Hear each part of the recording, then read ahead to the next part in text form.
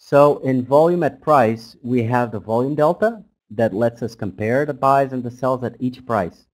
We'll be looking at linear delta and diagonal delta. Linear delta places weight in the price level. Thus, the buyer's traded uh, volume is compared to the same price with the seller's volume.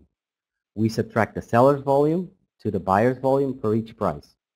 Um, this would uh, provide an indication of um, order flow at the particular price. This is quite straightforward, but nevertheless, I would like to make a distinction uh, on the delta that we're seeing. This is a volume at price delta, not order flow uh, delta. Order flow delta is what you could see on a chart uh, with, um, with order flow cumulative delta that is part of the order flow plus plus suite uh, of NinjaTrader 8, for example. And there you would see the order flow delta. So now, diagonal delta is more of an auction-based delta. So if the market is uh, in a dual auction, then there isn't only one price, right? There are two prices.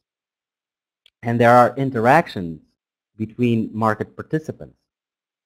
So the diagonal delta allows you to see this interaction. The diagonal delta puts weight not on the, on the price, but on the interaction. It compares the bid traded volume of one price to the ask traded volume of the price located directly above. So it compares the sells and the buys. We calculate it uh, the same way as a linear delta.